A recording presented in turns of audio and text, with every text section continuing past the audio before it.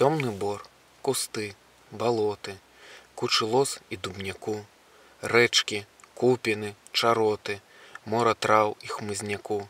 Мосцік зложены з бярвеню, брод і грэбля кожны крок. На дарозе рад карэнню, крыж пахілены на бок.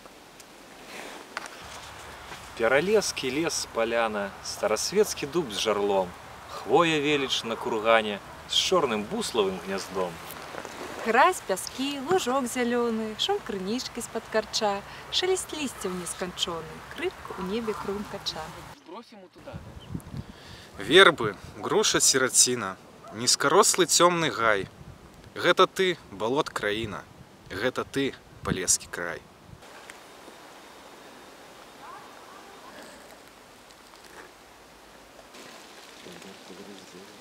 Thank